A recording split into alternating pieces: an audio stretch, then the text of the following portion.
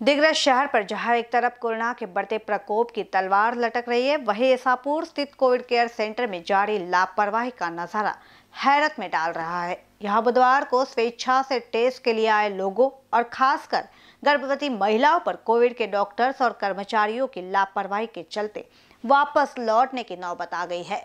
लोगों के मुताबिक यहाँ तीन दिन से बगैर कोविड 19 टेस्ट के घर लौटने पर मजबूर हो रहे हैं। आइए देखते हैं क्या है ये मामला?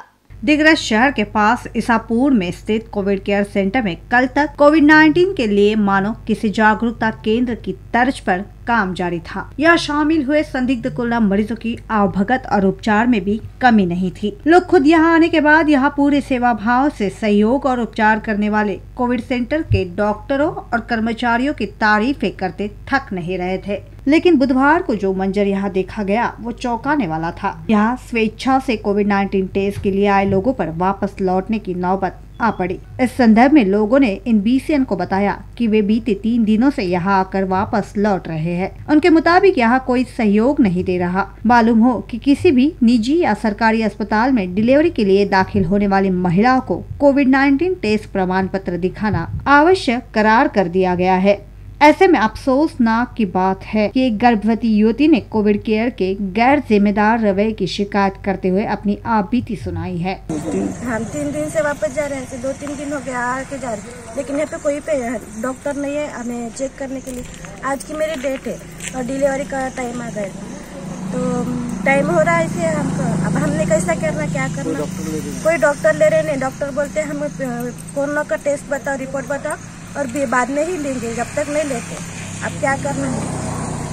बुधवार की दोपहर को दिग्रस कोविड केयर सेंटर पर टेस्ट कराने के लिए आए लोगों ने भी यहाँ की समस्याओं पर अपनी नाराज़गी ज़ाहिर की है। कोणत्याही पद्धतीची रॅपिड टेस्ट घेण्यात आलेली नाही. आणि या ठिकाणी बरेच लोक आले आणि परत गेले. आणि त्याची माहिती सुद्धा देण्यात आलेली नाही. एक या ठिकाणी हे अशा पद्धतीने काम केलेलं आहे. परंतु या ठिकाणी जे खरोखर गरजवंत आहे, जसं लेडीज़ आहे गरोदर माता खूप त्रास होता बाजी गालेली मैं बैंक में काम करता हूँ, बैंक में जॉब करता हूँ, मैं चार दिन से आ रहा हूँ, और यहाँ पे कोई सर वगैरह नहीं है करने वाला कोई नहीं है। और हम तीन चार दिन से वापस जा रहे हैं, और कैसा है, और सब लोग यहाँ पे लेडीज़ वगैरह भी आई है प्रेग्नेंट है। वो भी आई हुई है और वो भी तीन चार दिन से वो भी चक्रा मार रहे तो उनकी तकलीफ़ हो रही आने जाने के लिए। और यहाँ पे कोई जेंट्स वगैरह कोई सर लोग वगैरह नहीं है यहाँ पर चेक करने के लिए। तो हमारा ये कहना है मेरा कहना ये है कि जैसा हम हम सब चेक करने के लिए लोग आ रहे हैं तो यहाँ पे थोड़ा सा इन्होंने थोड़ा सहकार्य करने होना कोरोना के लिए जैसा ये सब अपन सहकार्य करेंगे तो अपना अपन कोरोना पे मात करेंगे जल्दी से मात करेंगे अपन।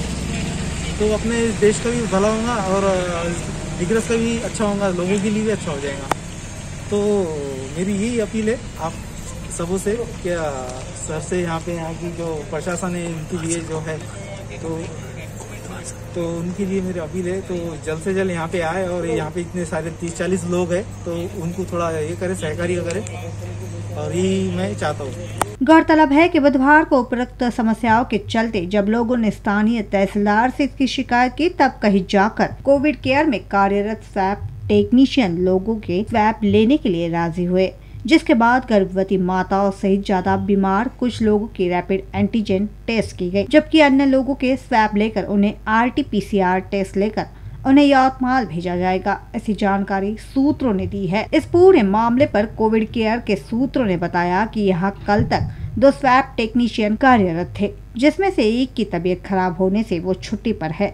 ऐसे में अन्य टेक्नीशियन के असहयोग और कोविड केयर के जिम्मेदार अधिकारियों के बीच तालमेल की कमी से यह समस्या निर्माण हुई। गौरतलब है कि दिग्रस कोविड केयर का अब तक का काम काफ़ी हद तक सराहनीय है। ऐसे में आपसी तालमेल और सहयोग में कमी के कारण इसका खामियाजा कई दिग्रस वासियों को न भुगतना पड़े। इसका ख्याल कोविड केयर से जुड़े हर कर्मचारी और टेक्नीशियन को रखना ज़रूरी है।